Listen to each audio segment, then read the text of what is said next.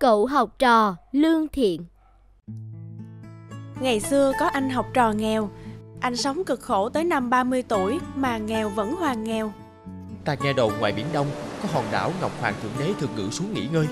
Ta phải tới đó gặp ngài Để khiếu nại mới được Vì ngài để ta nghèo lâu quá rồi. Tuy nhiên suốt chặng đường anh đã gặp rất nhiều vất vả, gian lao. Chẳng bao lâu lương thực mang theo đã cạn hết. Anh phải ghé vào một nhà bên đường xin ăn Cậu ăn đi Cứ tự nhiên để còn có sức đi gặp Ngọc Hoàng chứ. Cảm ơn ông. Nhân đây tôi có thể nhờ cậu hỏi Ngọc Hoàng Cho tôi một việc được không? Dạ xin ông cứ nói. Suốt đời tôi không làm điều gì sai trái. Vậy tại sao vợ chồng tôi chỉ có một đứa con gái Mà nó lại bị câm ngay từ lúc mới sinh? Nhờ cậu hỏi giúp tôi. Ông đúng thật là một người tốt. Với tôi, một người xa lạ Ông còn ân cần tử tế mời cơm tôi một bữa thịnh soạn như thế này. Nhất định tôi sẽ hỏi Ngọc Hoàng giùm ông.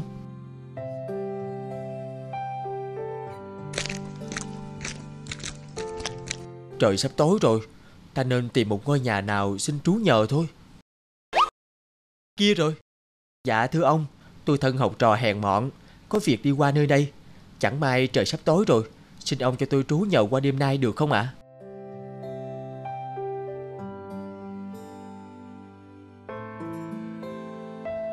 Đây là ít bánh bao với lương khô tôi tặng cậu. Trên đường đi có đói thì nhớ lấy ra ăn nhé. Cảm ơn ông nhiều lắm. Ừ thật ra ta cũng có việc muốn nhờ cậu. Ta muốn cậu hỏi Ngọc Hoàng giùm ta. Ta có trồng một cây cam trước nhà. Cành lá thì um tùm xanh tươi Mà tại sao cam không bao giờ có quả? Nhất định tôi sẽ hỏi giúp ông. Chỉ cần vượt qua biển này Sang đảo kia là ta có thể gặp Ngọc Hoàng được rồi Chết thật Ở đây chẳng có con thuyền nào. Sao ta có thể sang bên đảo kia Gặp Ngọc Hoàng được chứ? Rùa Rùa thần ư? Trèo lên lưng tôi đi Tôi sẽ đưa cậu ra tận đảo gặp Ngọc Hoàng. Vậy có ổn không? Ổn chứ Đổi lại cậu làm ơn hỏi Ngọc Hoàng giùm tôi. Tại sao tôi ở đây đã một ngàn năm rồi Mà vẫn còn sống kiếp rùa không thay đổi đi? Nhất định tôi sẽ hỏi giùm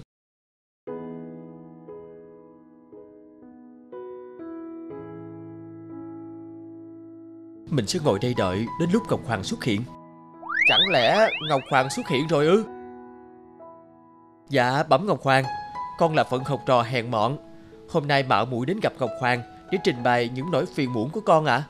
Khá khen cho ngươi có dũng cảm Và kiên định vượt đường xá xa xôi đến gặp ta. Được Có gì ngươi cứ trình bày đi. Dạ đúng rồi. Rùa thần có nhờ con hỏi ngài Tại sao rùa ở biển đã một ngàn năm Mà vẫn còn sống kiếp rùa Không thay đổi ạ? à?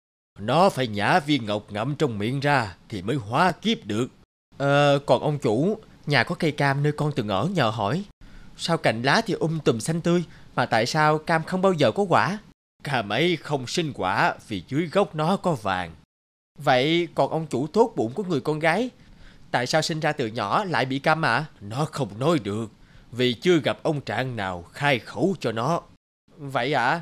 Còn... Hờ, ta bỏ thiên đình xuống đây kiếm chút yên tĩnh Không ngờ lại bị ngươi đến quấy rầy. Ờ, Bẩm Ngọc Hoàng Con còn chưa nói đến phiền muộn của con. Đúng là số trời đã định Mình nghèo thì vẫn mãi nghèo thôi Không thay đổi được gì cả.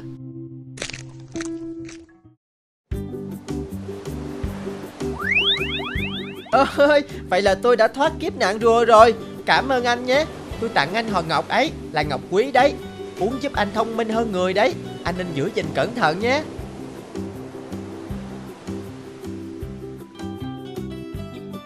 Anh cầm lấy một nửa này Coi như tôi cảm tạ anh. Anh lấy làm lộ phí đi đường nhé. Mình sẽ lấy số vàng này để lên kinh đô Làm lộ phí thi trạng nguyên sắp tới. Nhờ viên ngọc quý mang trong người Anh trở nên thông minh khác thường. Sẵn có vàng Anh liền ở lại mua lều chỏng Sắm sửa kinh sách để dọn thi. Năm ấy anh đậu trạng nguyên và đứng đầu bảng vàng. Nhà ông chủ giàu có đây rồi.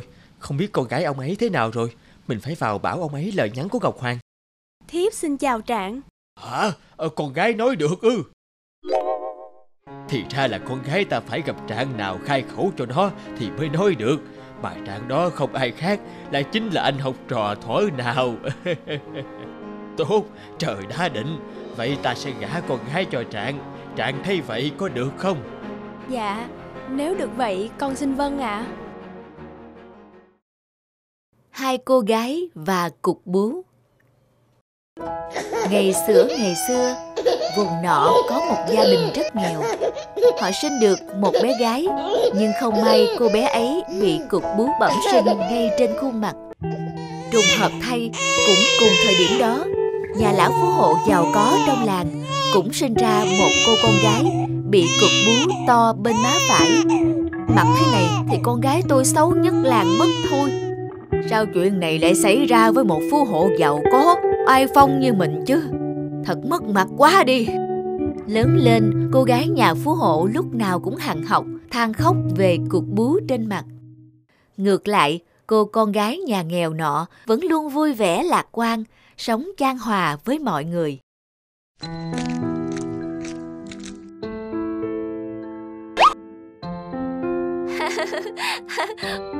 Ôi trời ai ngờ lại có con bé, còn có cục bú to hơn cả mình. Chúng ta cũng giống nhau, phải không? Tao không giống mày. Cục bú của mày to hơn của tao nhiều. Mày còn xấu xí gấp 10 lần tao. Trong cái bú của mày mới khủng khiếp làm sao?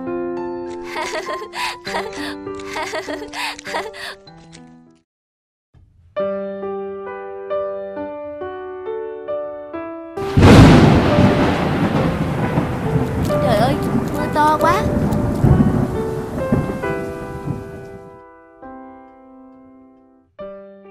Trời tối rồi, có lẽ mình phải ngủ lại ở đây sáng mai mới về nhà được.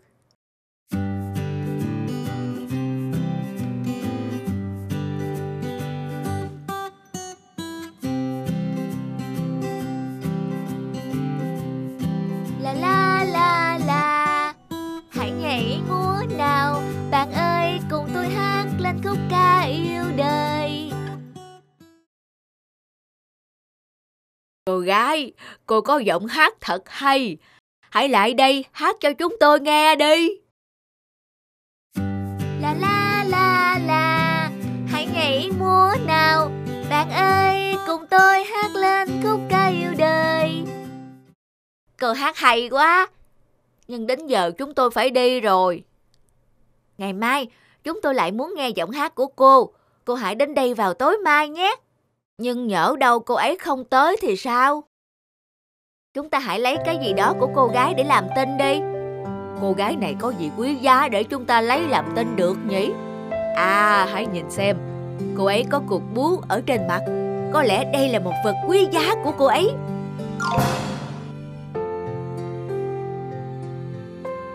Ta đã lấy vật quý trên mặt của cô để làm tin. Nếu mai cô không lấy lại nó thì phải đến đây hát cho bọn ta nghe. Giờ thì tôi phải về đây.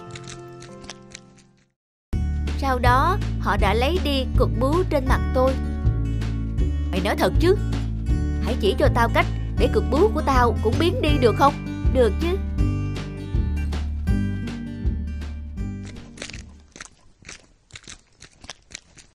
Các ngươi hãy về đi. Ta sẽ ở đây chờ lũ quỷ.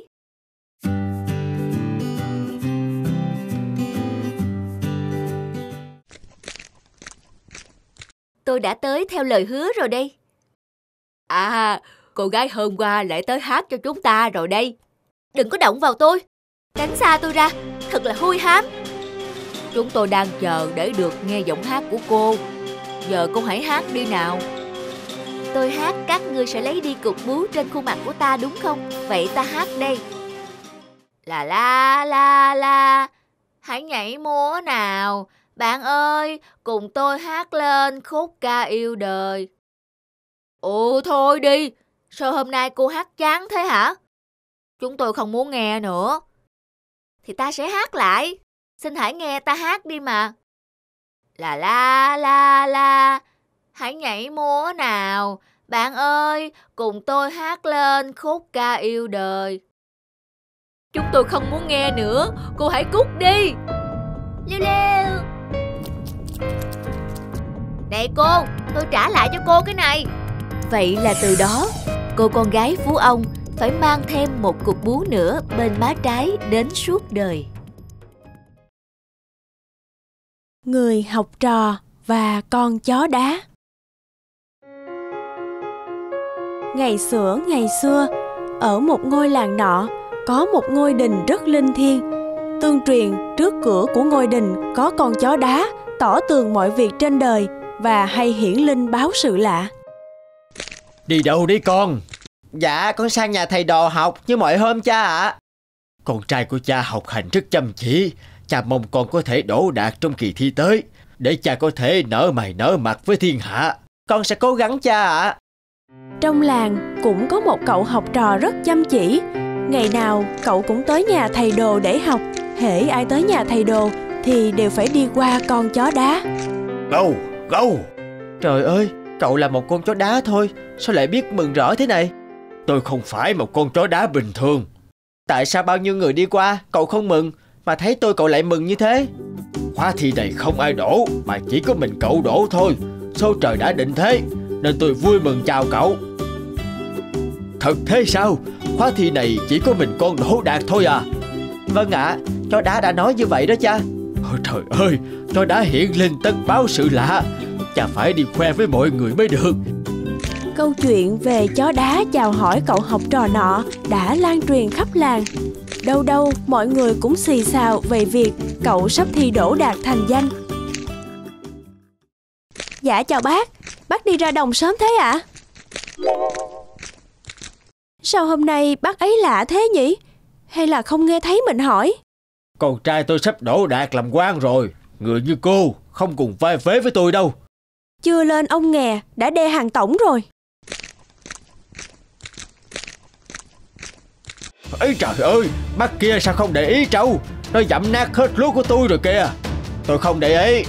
Thế thì bác phải đền cho tôi. Đền là đền thế nào? Bác có biết là con trai tôi sắp thi đỗ làm quan rồi không? Nhưng cả gia đình tôi chỉ trông vào mảnh ruộng này thôi. Bác phải đền cho tôi chứ kể gia đình nhà bác, tôi không việc gì phải đền cả. Hồi nãy bác kia trâu của bác làm hỏng lúa của người ta, thì bác phải có trách nhiệm chứ. Tôi không đền đấy, các người làm gì được tôi? Con trai tôi sắp làm quan rồi, Tôi sẽ xử hết các người. Bác ấy vô lý quá, Chúng ta phải kiện thôi. Nhưng con trai bác ấy sắp thi đổ làm quan, Chúng ta mà kiện, Nhỡ đâu bác ấy thù ờ, thì khổ. Cứ dẫm nát hết cho ta, Xem ai làm gì được ta nào. Con trai ta sắp đỗ đạt làm quan đấy. Hôm qua tôi chỉ tham gia góp ý vậy thôi. Thế mà anh ta lại mang trâu ra làm hỏng hết lúa của nhà tôi thế này. Ôi, Trời ơi. Cụ nhìn mảnh ruộng nhà tôi xem. Hôm qua chỉ bị nát có một nửa. Hôm nay thì không còn cây lúa nào nữa rồi. Thế này thì vụ mùa năm nay Cả nhà tôi đói mất. Vụ này lấy gì mà ăn đây? Trời ơi là trời.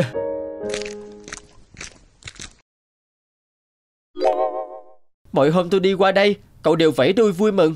Sao hôm nay cậu lại lạnh lùng như thế? Tại cha cậu lên mặt khách dịch với mọi người. Còn cho trâu chấm nát hết lúa nhà người ta Nên thiên tào đã gạch tên cậu trong danh sách đổ khoa thi tới rồi. Tôi không cần chào mừng cậu nữa. Con trai Có chuyện gì mà trông con buồn thế? Cha ơi Nó đã nói là vì cha hách dịch Bắt nạt người khác nên thiên tào đã gạch tên con khỏi danh sách đổ đạt rồi. Thật thế sao? Đúng vậy cha ạ. À. Từ đây con cũng chỉ là cậu học trò bình thường thôi.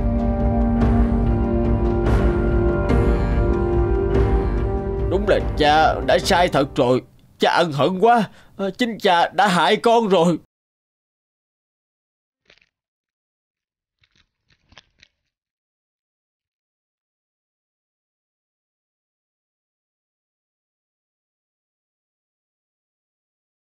Trời ơi, sao mảnh ruộng nhà tôi lại được cấy lúa thế này?